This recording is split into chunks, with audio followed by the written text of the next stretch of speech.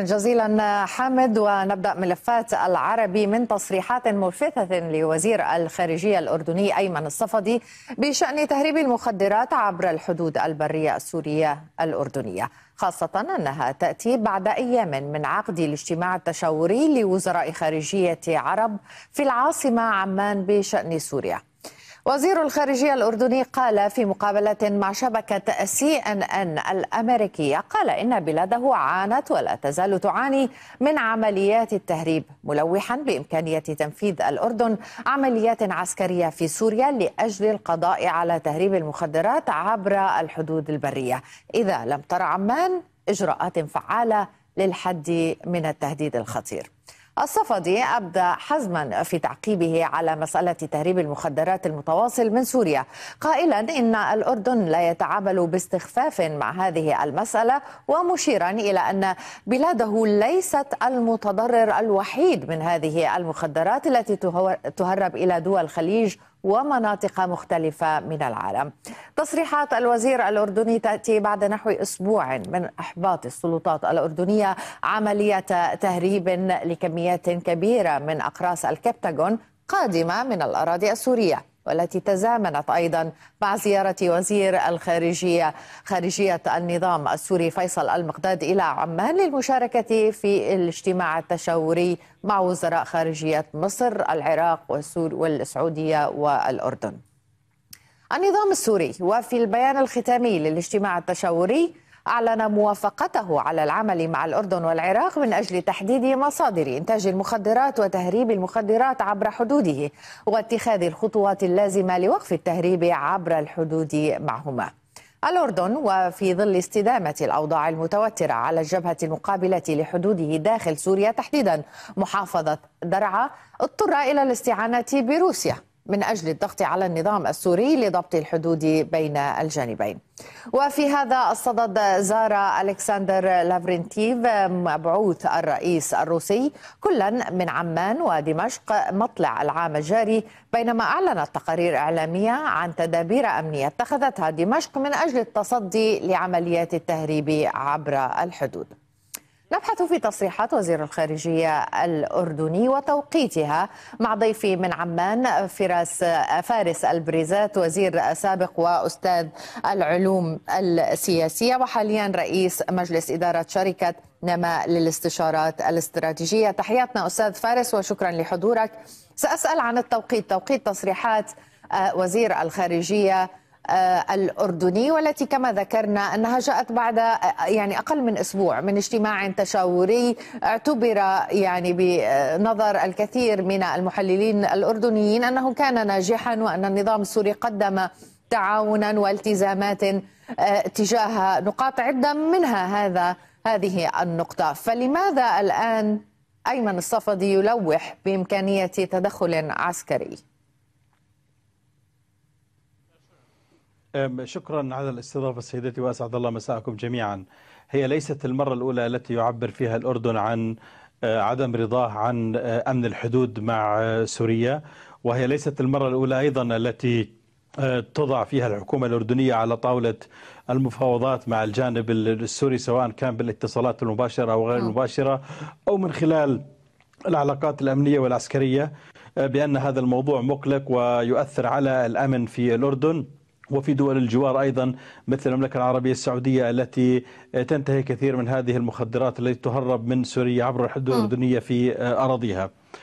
تصريح معالي وزير الخارجية اليوم يأتي للتأكيد على أن هناك التزامات التزم بها وزير الخارجية السوري سواء كان في اجتماع عمان أو في اجتماع جدة بأن تقوم سوريا وتقوم الدولة السورية والجيش السوري آه، بإجراءات على أرض الواقع تمنع آه، إنتاج هذه المخدرات وتهريبها من قبل العصابات الإجرامية التي تقوم بمثل هذا العمل.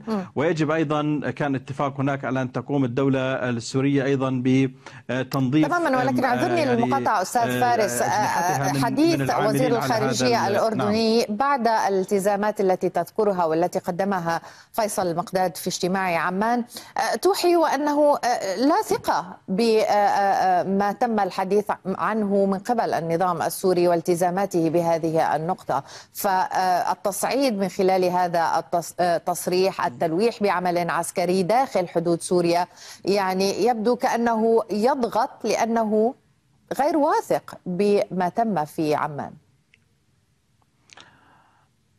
أنا تقديري أن هناك طبعا ما يتم العمل عليه الآن هو خطوة بسيطة جدا في عملية طويلة لإعادة تأهيل سوريا وإدخالها إلى النظام الإقليمي العربي جامعة الدول العربية.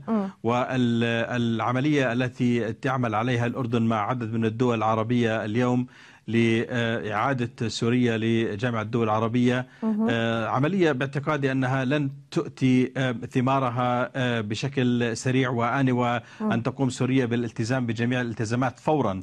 لذلك أنا تقديري أن تصريح معالي وزير الخارجية كان واضحا وهو قال في أنه في حال أنه لم نرى إجراءات على أرض الواقع ستقوم الأردن بإجراءات لوقف التهريب نعم. وليس لأي شيء ثاني. ولكن هناك نقطة أخرى لافتة أيضا من ناحية إذا, إذا كنا نربط الأحداث بعضها ببعض وتتوالي آه، الأفعال.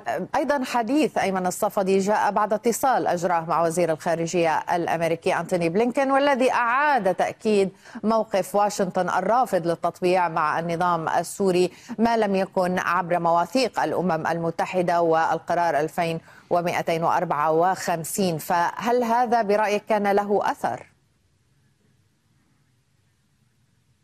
لا أنا تقديري أن آه، طبعا الجميع يتفق سواء الولايات المتحدة أو أو الدول الأوروبية أو الدول العربية على أنه يجب أن يكون هناك حل للصراع في سوريا الذي يؤثر ليس فقط على المواطنين السوريين وعلى الأمن الإقليمي وإنما أيضا على الأمن العالمي. ما نراه اليوم من ازدياد تجارة المخدرات لا يتوقف فقط عند الحدود الأردنية السعودية أو الحدود العراقية السورية وإنما أيضا ينتقل إلى دول أفريقيا ودول أمريكا اللاتينية. هناك مصانع كبيرة آه، تهرب عبر الحدود التركية وتهرب إلى آسيا الوسطى وتهرب إلى أوروبا وإلى أماكن أخرى. لذلك القضية قضية عالمية. الكل مجمع على أنه يجب أن نبدأ بالبحث عن حل القضية السورية. واعتقادي أن ما قامت به الأردن المبادرة الأردنية الآن يعني جرى تعديلات عليها لكي تتوائم مع التغيرات نعم. الإقليمية والدولية التي حصلت مؤخرا. آه. لكن أنا باعتقادي أنه صحيح أن الولايات المتحدة لغاية الآن تقول بأنه لا للتطبيع مع النظام السوري ولديها موقف, ولديها موقف حاسم. وأيضا الدول الأوروبية التي تحدث إليها معالي وزير الخارجية اليوم وأمس خلال اتصالات هاتفية.